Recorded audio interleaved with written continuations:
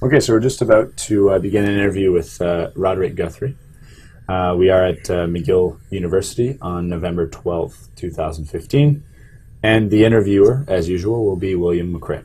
So, just to begin, could you please state your full name? My full name is Roderick Ian Lawrence Guthrie. And your age, please. I'm 74. And uh, uh, where were you born, actually? I was born in uh, England, Sutton Coldfield. My father was in the RAF, and uh, so uh, that was Bomber Command there. So, yeah, I was born in the Midlands. What year? 1941. Okay. Oh, right, uh, right in the middle of it all. Yes, yeah. Yeah. yeah. well. Um, so as a um, as a child, what did uh, first of all was your dad always in the RAF? No, no, he, he was a he was a, a teacher. He was a Okay. he was a housemaster actually at uh, Bishop Vesey's Grammar School. Okay. which was a nice school in in in Sutton Coldfield, and uh, Okay. that's where where we where we were. Yes, And uh, what did you uh, do as a child for As a child? pass the time? What were your interests? I rem- uh, I remember. Uh, well, I, I my interests were as a child. Um, I uh, was interested in trying to learn how to read, and that took until about four or five, and then uh, we went uh, to Cyprus then, th- which was lovely, and I spent about four years there, and then I uh, I came back as a chorister at Durham Cathedral, and that was a tough time. So I had a, a, a, a that was a, boarding school. So so I s 17 week terms was rather a rather long time, but anyway I survived that and then uh, went to Nottingham High School, which was a wonderful school, and uh, at Durham I hadn't learned any anything about science really, so uh, I I also was interested in history Okay.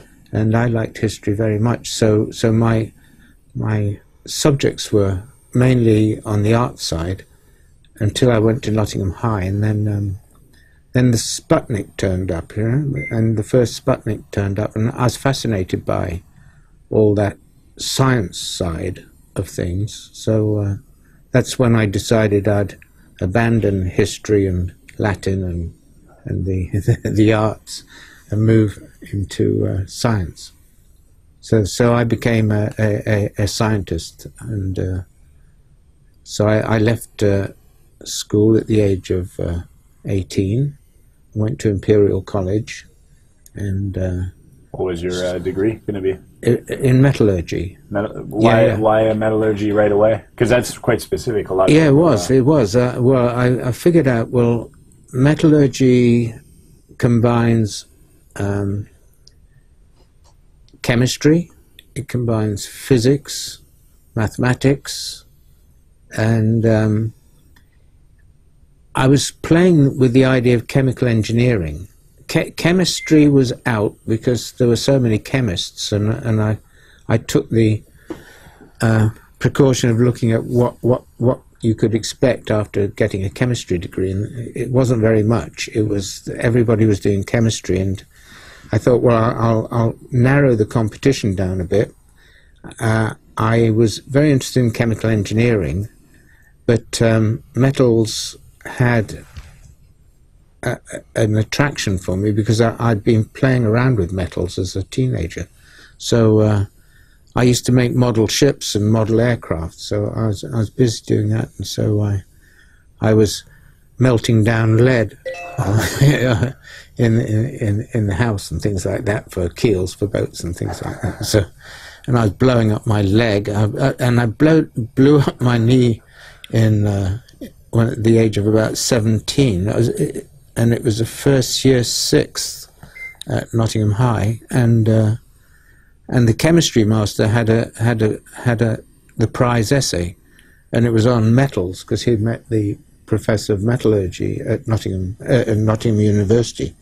So so I had a lot of time to investigate metals in the library while I was still recovering from my leg, which was in plaster for about uh, ten weeks. So so of course I, I managed to win win that prize and became very interested in metals. So So I looked at metallurgy and decided I wanted to go to London because London was a, a good spot. It was the time of the Beatles there. Yeah. So, and, and all that sort of thing. So, so we had a good time in London. It's happening.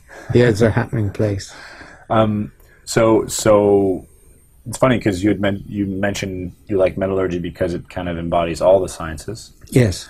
but at the same time, usually as a metallurgist, you'll you'll become very specialized in a in a one facet of metallurgy. So, so right away, were there specific classes or, or subjects that you really realized that you liked and that you were going to go into? Yes, yeah, that, that that's that took me into my PhD basically because I, I did I did my um, my first degree and uh, I didn't really like the uh, the problem of uh, doing these these little samples these to, to- and looking under microscopes.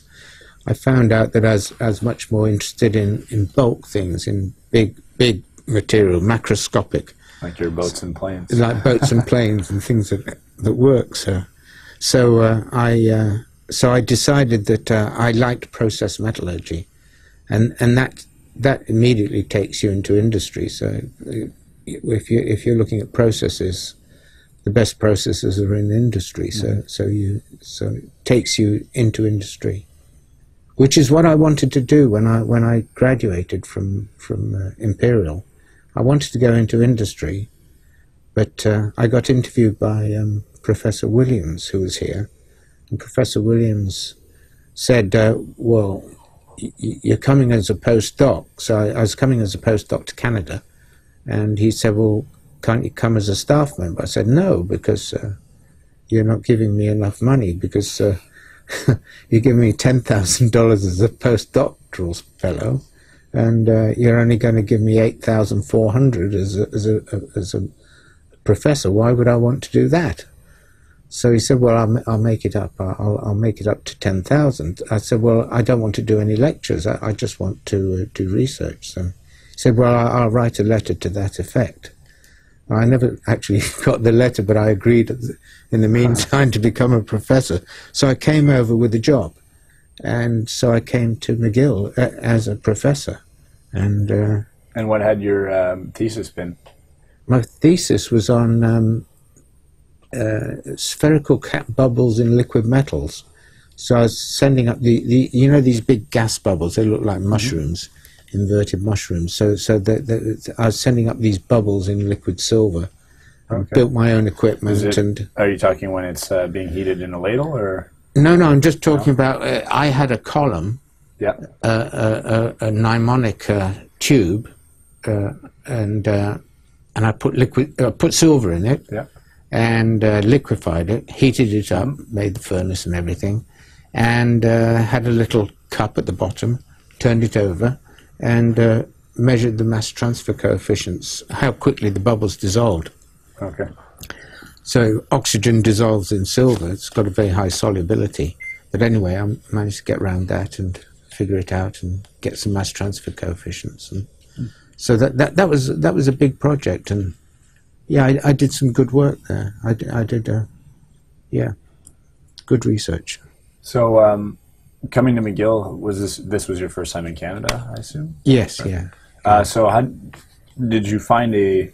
There was a big difference between um, McGill and Imperial, um, and if so, what what was that difference? Or? Uh, no, I, I think basically McGill was a little bit behind the times, but it was it was uh, it was a good good university, and uh, yeah, the, the faculty club was was a place where you could meet a lot of people, and uh, there were quite a lot of people from Britain in, in, at McGill. yeah, well, it, uh, it's always Scottish as well, attracted yeah. uh, international yeah, students. Yeah, quite a bit. So uh, yeah, so yeah, McGill was very good. It was very very nice. I, I liked it, but I, I still went out into industry. So Right my away? right away. So so I went off. Uh, I think I went down to Atlas Stainless Steels the first summer uh, with uh, my wife, and then uh, came back that fall, and then I went down to Dofasco. I, w- I went to Atomic Energy second second year, And then I went down to Dofasco in the third year and worked with uh, the people down there. You worked in the labs. Worked in, in the research department okay. and also in, in, in the in the um, plant. Okay. I saw I worked in the plant, and I went through the whole of uh, steel making there, iron making and steel making. My first year, I was down working on the blast furnaces, putting uh, oil injection into furnaces. We were trying to see how much oil we could inject into furnaces to replace coke. Okay. So, So, uh, so you were both here and at Dofasco at the same time. yes, yeah, and yeah, yeah, yeah. And did you? Uh, so you had agreed not to teach, but did you end up teaching? Or? I ended up teaching, yeah. But the uh, so I ended up teaching. Uh, uh, yeah, I, I, I, I did teach. Yes, How was that? it was good. It was Yeah. good. It was, it was good. It was a bit bit tough getting the first lectures off the ground, but and and I had to uh, change my marking system because they all failed. So uh, so so I had to improve that. You were one of those But, uh, those profs. one of those types, yeah. Not not very. but I, I now I'm a very very nice prof. So, um, so throughout, uh, throughout, how long did you work for Dofasco? Because I mean, you've worked for McGill throughout your career, right? yes, yeah. Uh, but Dofasco, um, how long did that last? It was about 25 years. Okay. Yeah. So- 25 years of up and down. It, it got a bit hectic towards the end, and, and then we formed this centre, the McGill Metals Process, McGill Metals Processing Centre. So we, um, so that sort of took me away from being able to uh, spend a lot of time in one place. I also worked with Alcan as well. Okay. Alcan uh, uh, in Kingston and also up in Arvida. So that that was getting a bit hectic, the whole thing. So, so I, I finally became a proper professor, as Williams said, and uh, and gave up that and opened Yes. up the centre. It was hectic. Why? Just because of the, Uh, the travel, travel. the travel Okay, yeah. was, you know, I was coming back, talking to students here at the weekends, going back in the summertime and working full time there, and uh, it it was great. I enjoyed it a lot, but but it was quite hectic. yeah, for sure. But I learnt a lot from industry. Yeah. And and if you could, um, are there any big differences you could point out between industry and academia? Industry is much nicer, I think. Oh yeah. How in, so? in a in, sense, in a sense? sense, industry is nicer because because you, you're all working on the same page. So so you you in in universities one has to uh, not not work quite that way. If if you're going to advance in a university, I believe you have to uh, do your own research. Uh, this has changed actually in in recent history. So people are now doing a lot of collaborative work between themselves uh, at universities. So, so they're, they're doing teamwork here now. But in the past, I remember I, it was more um, more individual professors making their way, uh, and in industry, it was the same thing. But in industry, it was um, it, it, it was a collaborative approach. I found anyway. So I, I enjoyed my time in industry. I had a few people from industry also tell me the big difference they would often, or difficulties as well, they would encounter with them being from industry and then working with someone straight out of academia was that theoretically they had a lot of good ideas, but they practically they didn't they didn't understand they didn't get it. Yeah, yeah. Did, did do you find that uh, that to be true? That's true. Yes, I, I think it's very true. Yeah, Yeah. yeah. N- Now, um, from from either side or both sides, uh, were there any dysfunctional jobs throughout your career or projects even? a dysfunctional job. Uh, uh, dysfunctional projects? No, I, I think I think it was, it was all all successful. Um, dysfunctional personalities, yes. There's a lot of those around, but uh, but that's not worth talking about. So, so I won't talk about it. Okay. Okay. Yeah. Um, not even not even like uh environments or Environments. a dysfunctional environment Oh, in terms of dysfunctional environment, um, not really. No, there's Where nothing- production was, was bad or No, I, I think uh, it was. Th- they were very good in industry. They were great. Um, yeah, I, mean, no, the the only no, no, no nothing really. All right. um, now, if we talk a bit about your um, your your work in the field, um, you would uh, you've worked a lot on uh, horizontal single belt casting process. Could you Yes, talk a bit yeah. about that? And and was that done in industry or academia or both? Uh, it was done uh, in industry and academia. So, so basically, uh, it started off back in 1987 when uh, Jock McKay, he was director of research. Have you have you Yeah, interviewed him? yeah. Okay, good. You So worked for Stelco. Yes, he was director of research at Stelco. So, so Jock called together the steelmakers of Canada and said, "Okay, how are we going to make this this um, this steel uh, in the future? Because it looks like near net shaped casting is going to be on on on the books, and and maybe." There's a better way of making steel than continuous casting machines with uh, molds of moving up and down. So, so I was tasked with the um, the problem of finding out what quality the steel had to be in order to have successful products, sheet products, um, with with a new continuous casting process. So I did that. I, I said what the temperature of the steel would have to be, da da da da, all the technical stuff, and um, and I was working with uh, a chap called Joe Herbertson. He was my postdoc at the time. So Joe and I were were also addressing the bigger question about what should the machine look like, and um, and uh, the, they they called the, the the whole thing was called Projet Bessemer, which should have given me a clue at the time that they, they were focused on Bessemer casting, Bessemer twin roll casting but uh, I, I, I- wasn't thinking about that. I was thinking about the the, the way you put hundred tons per hour per meter width of uh, steel on on a, on a on how how would you do it?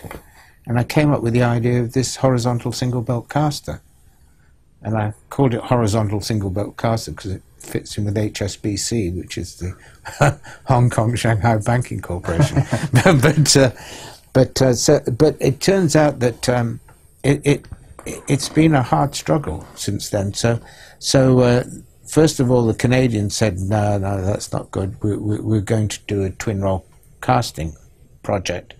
So that was okay. I, I did work with them on twin roll casting. what would be the big difference from a uh, non-metallurgist between your the double and then and the single you were trying to develop? Oh, well, it's it's one of productivity. The productivity of a twin roll caster is limited by the size of rolls you can have, and uh, the productivity of a belt caster is just determined by the length of belt you make. So, so, so I was projecting a belt of about 12 meters long, uh, which is about you know, 40 feet long, and then you can you can cool down the, the, the liquid steel and have it freeze and uh, be fine.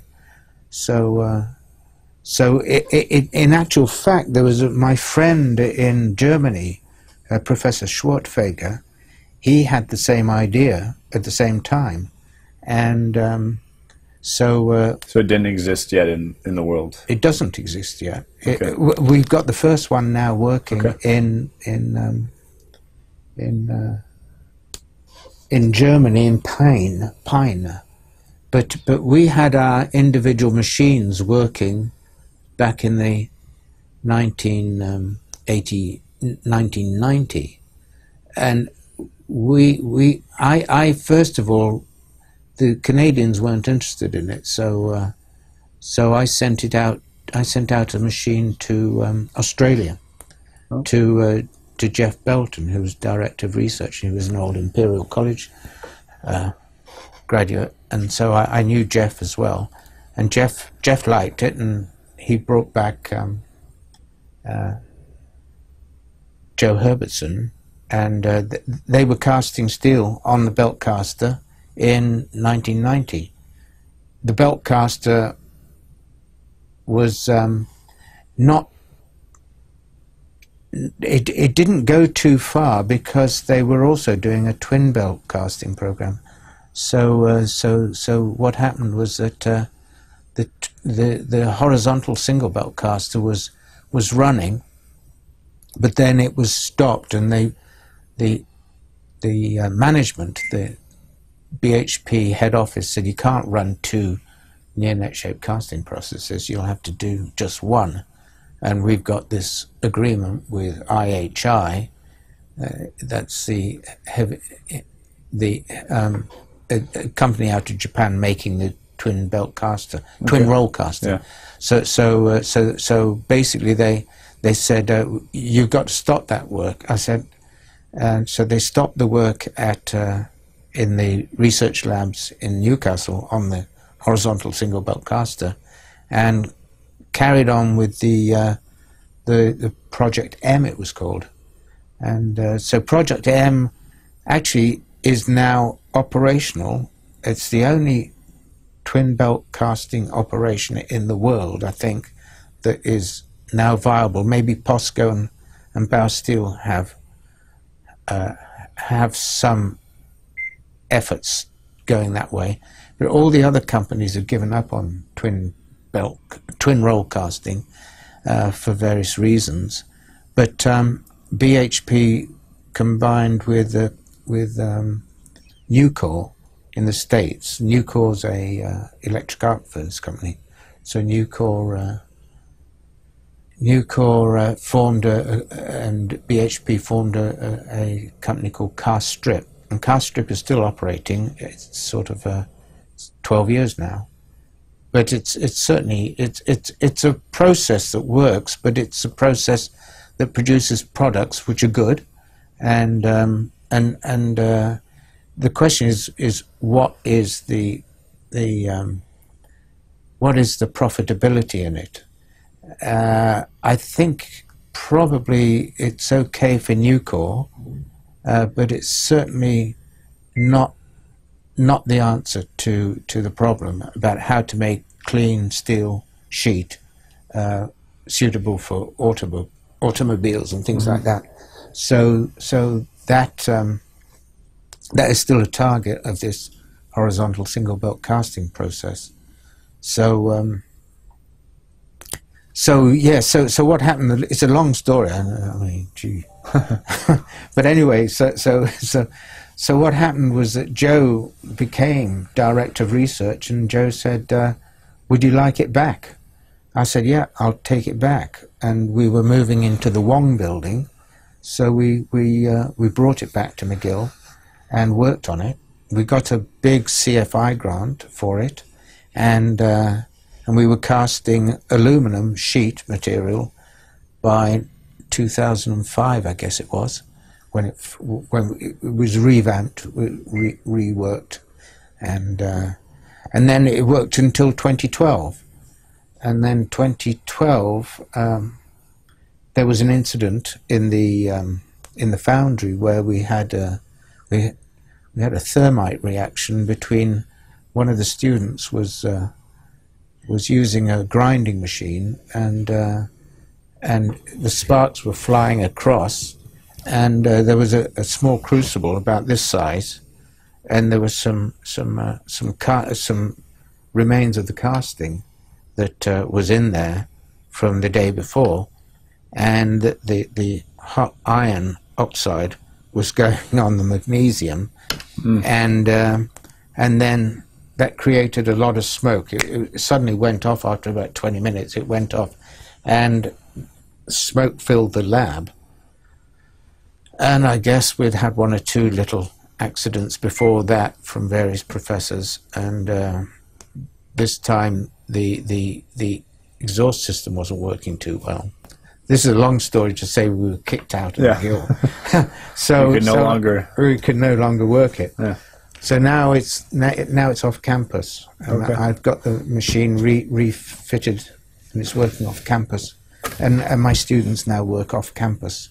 So, uh, So is the idea now to make it to, to make it good enough so that it is uh, that so that it does make efficient um, sheet metal for uh, the automotive industry, or yeah, yeah, yeah. Still, It's- okay. the- So it's still to perfect that the, target. The target is to do that, but but you can use uh, that casting process for, for many other things as well. So so there's there's there's endless possibilities, Mm. I think, in, in that that machine and that, that technology. And do you have any idea why Canada was more leaning towards the twin uh, casting as opposed to the single? Because it was a new idea, and uh, and everybody thought of Bessemer's dream, and, and uh, Bessemer's idea. It, it works. Uh, it works with B- PHP. Managed to make it work when nobody else did. Uh, from uh, Nippon Steel were the first to make a twin belt, twin roll caster, uh, and they they they did two machines, and it. Neither worked. It it, it, uh, it just wasn't competitive. It uh, too many problems with the side dams, with the the shape of the rolls. You've got to make to to, to, to get the, the flatness. It's very very difficult, uh, and um, and the the gases being entrained, uh, it, it, it, and then catching the, the, the stuff as it comes out. It's it's a tricky process, but even when it's working well, that's good. But but the companies don't really tell you what the what the uh, uptime of a machine is. So so I think most of them were not able to uh, to make it profitable from a commercial point of view. Okay. So, but it looks as though we're, we're hoping very much that this HSBC caster will will will be the answer. Yeah. Mm. There's 1.4 billion tons of steel cast per year, by the way, around the world. And it's all at the moment done by the 1960 Junghans process, Junghans and, and Rossi, which is the, the fixed mold moving up and down. And the, the quality of the steel on the surfaces is not good there, but you have reheat furnaces where, Yeah. where you heat the whole thing up again, and, and you, you get rid of all these, you slough off all the, the imperfections, and so uh, that's that's a you know beat it and you'll get it right and it'll work. But and it they takes more time. Takes more time. money. the money, uh, the the the the, the infrastructure's massive. I mean, th- this thing, if if we can get it working, is would be about a tenth the price, Really? tenth Wow. the capital and operating. Wow. We can operate it with five people, say, and and that's from start to finish. So, so hopefully it'll it'll work in the Yeah. Yeah, no, it's it's funny um, that so many of the technologies, you know, they got them right once and they haven't changed. Yes. A lot of the yeah, yeah, yeah, machinery and the Yeah, techniques. yeah, used. yeah. Well, you said 1960. yeah, Yeah. yeah. Wow. 1954, actually. Yeah. There you go. um, now you've uh, you've won uh, the Killam Prize for engineering in Canada for your work uh, on your work on having co-invented uh, the LiMCA process. So could you explain what that process is and, and how it works? Yeah, the LiMCA process. It's. Uh, I think I've got a. Wonder if I. Oh, here's one. This is a LiMCA for steel. This is a. Basically, you you put you put this um, you put this into uh, liquid steel. It's it's all shrouded uh, with cardboard and everything, and there's a steel cap at the bottom here. But the the guts of it is this this little thing here. It's a little tube, and there's a little hole, small hole here. Uh, You, you can hardly see it. It's 500 microns. It's half a millimeter. Yeah. Yeah. Yeah.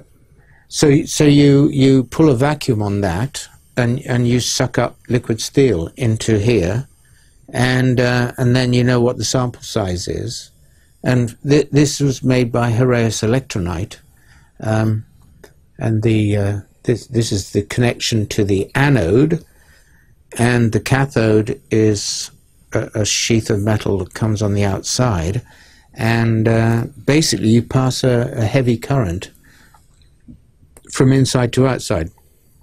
Heavy being about 24 amps, exactly.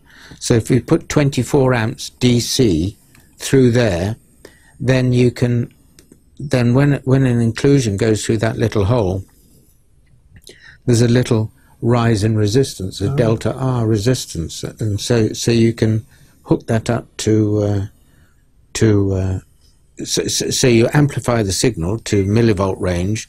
The trouble with this is that it's all microvolt ranges because the conductivity of liquid metals is so high. So so the electrical conductivity is so high. So so you got uh, you you're only got microvolt signals. But the beauty about this is that you're creating microvolt signals in a sea of electrons. So so you can see microvolt signals because it's it's ground state zero here. So as long as you can catch that signal and amplify it quickly, then then you've got a process. So that that's basically the the, the concept of uh, the LiMCA process, liquid metal cleanliness analyzer. But we use it in in the aluminum industry a lot for. Um, which is a bit a bigger thing, and, and it's it's continuous. This is this is a A small, A small example. So, how many would you use in um, in in one testing of aluminum, for example? Well, in one testing, you'd use one per per drop, per aluminum drop. So, Okay. so you- you'd have, uh, if if you've got a furnace and you're tapping, it, it could be two hours of pouring of liquid aluminum into a DC casting rung. So, so you you would uh, you'd it, it would last for two hours. So that that was very very uh, critical for Alcan to uh, to improve their practices and uh, and get qualified for for making uh, aluminum sheet material for uh, for the beverage can business. Thirty percent of the uh, beverage cans, uh, thirty percent of their their product went into beverage cans, so that, that they couldn't afford to say no to it. Yeah. So it took a long time to negotiate an agreement with them, but but but they they they I had some good people inside Alcan who who were supporting the idea, so uh, so uh, it worked. But there was a lot of resistance. It was not easy to get it out, but uh, all sorts of difficulties. But anyway, you know, Neat. yeah.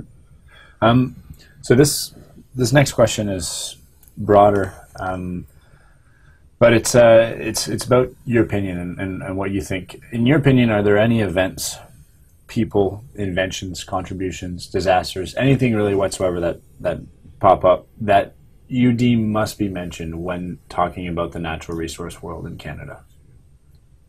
Well, uh, have you interviewed um, Professor Hugh McQueen? I have. Yes. Oh, good. Okay. Mhm, I have. because he, he, he, he knows about railways and bridges and all does. that sort of He's thing. a huge yeah. history buff. Yeah, yeah, yeah. I yeah, just saw him at the um, Canadian uh, Science and Technology History Association conference. Okay, uh, good, good, weekend, good. Okay, weekend. good, Yeah. good, good. Oh, that's great. Okay. Yeah. So yeah, I, I'm glad you got got him. And uh, so so what was the question again? So the, it's it's really a broad question. So it might sound like a tough question, but there's no wrong answers. It's if if when talking about the natural resource history, the natural resource world in Canada, is there anything that comes to your mind that you know? Oh, we're doing this oral history project. I think we should mention this name or this disaster or this invention. Well, I think that the whole disaster is is the the way. Um, I, I think there is a disaster in the sense that in the 1970s, 80s, and 90s, e- everything was uh, Canadian and run by Canadians, and now it's it's uh, it's not run by Canada. It, even Dofasco, Dofasco got bought up for nothing because they sold off the, the Sherman mines and everything. So Dofasco had all these uh, mines, and and uh, ArcelorMittal came in, Yeah. bought up Dofasco, gone. And uh, I mean, I still work with them, and uh, but it's uh, it's it's tough for those people, really tough. And Stelco, that was a fine company, and uh, Yeah, I talked to, with Yeah. Jacques about that. Yeah. yeah, it's fine company. It's, it's a real shame. Inco, Vale. Yeah, Yeah, no, so that's it's a uh, disaster. Yeah, I think. Quite recurring. Actually, you're not the you're not the first at all to uh, to No. mention that. And uh, yeah, it's a, a very big shift in Yeah. in the Canadian natural resources. Yeah. Okay, thank you. Um, maybe a few um, more social questions, but one I, I ask almost every time, and that's women. Throughout your career, and it might have changed, but how absent or present have women be? Have women been in uh, and interesting here in academia and also in industry? Um, I think I think we, we've always had about we've always had women coming through, and and they tend to be very good, and uh, some of the best miners, mining engineers were were women. Uh, so uh, and we don't have so many in this this particular class uh, that's coming through, but. Uh, but I, I think normally it's running about 20 to 30 Okay. percent, something like that. So it's it's, it's there is a place for women, and uh, in in metallurgy for sure. And uh, in industry, was that uh, in in industry, and has well, that changed? You worked 25 years, so maybe Yeah, you might have it- seen a. yeah, there seem to be a, a good number of women there. Uh, um, of course, they get married and, and that sort of thing, which is. But um, in the steelmaking area and the, the, the and the, the blast furnaces, it was all men, and uh, basically they were recent immigrants, m- many of them, who, who worked on the on the hot metal side of things but uh, it's it's a hard job and uh, but uh, in the labs the, the women have got places. And in physical metallurgy that, that sort of thing in material science there's it's it's more it's less one-sided. yeah yeah. yeah, yeah less one-sided. So I think w- women are, are okay they, they do fine I think And have you seen it increase at all, or stay the same, or I, th- I think it's uh, I th- I, it has increased a bit Fr- from my day as a student. I think we had I think we had one one girl in three years. So in, in the three years we were there, there was one girl, and uh, and uh, and that was it. out of how many? Out of uh, probably about uh, two hundred. Oh yeah, yeah. So, So it's increased a bit. it's increased a bit. Yeah. yeah, quite a bit. Yeah. Yeah. All right, good. Um, and another another question would be, and and again, good perspective here because you've worked in academia and um, industry. But do you believe there's a disconnect between uh, the natural resource world or, or these industries and the general public? And if so, why? I, I, I, don't know that there's such a. Well, I, I know Dofasco, and Dofasco was. Uh, they were very into. Um, to. Uh, local events. I mean, they were sponsoring all sorts of things. They, they, Alcan, the same thing. They're sponsoring all sorts of uh, interactions with the public. Say the the, the concerts here in, in uh, supported by Alcan.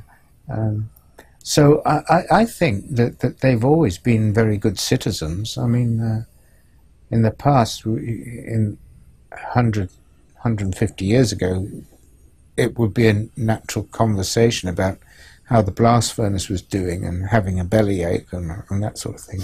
And they, people don't know about that anymore. Yeah. But they do know that uh, they do know about uh, the steel industry, at least in the in the towns where they're operating, and uh, and I think uh, they have a reasonably positive view of it. Oh, maybe some people in in in in the public think it's a dirty business, but it's not really. It's a very high tech business, and uh, it, it is dirty. It can be dirty, but uh, but it's very high tech.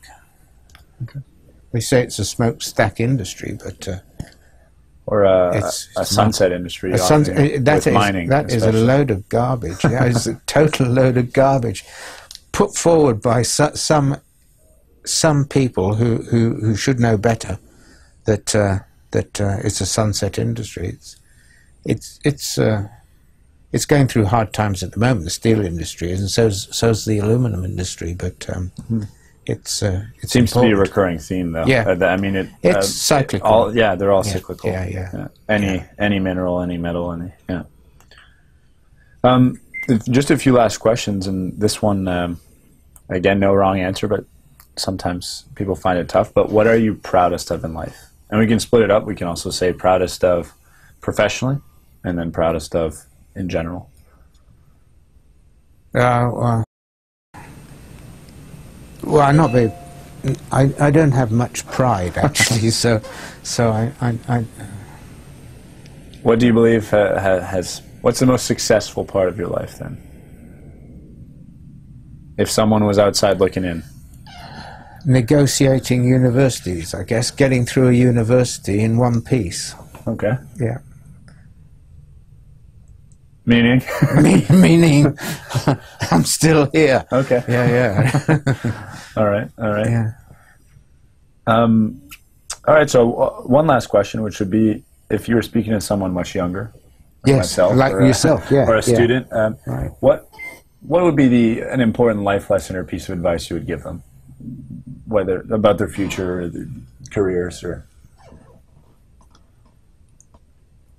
I, I would think to, to be as good as you can be and, and, and, and not to to uh, I suppose really basically to if if you're really in, involved in enjoying the job then do it. If you're not get out and, and, and find something that, that really appeals to you. What would you do? Yeah yeah yeah Excellent. Uh, is there anything else you'd like to you'd like to add or, or share? no not really I think uh, it's Canada's been a good place and uh, yeah Thank you. okay Appreciate it. good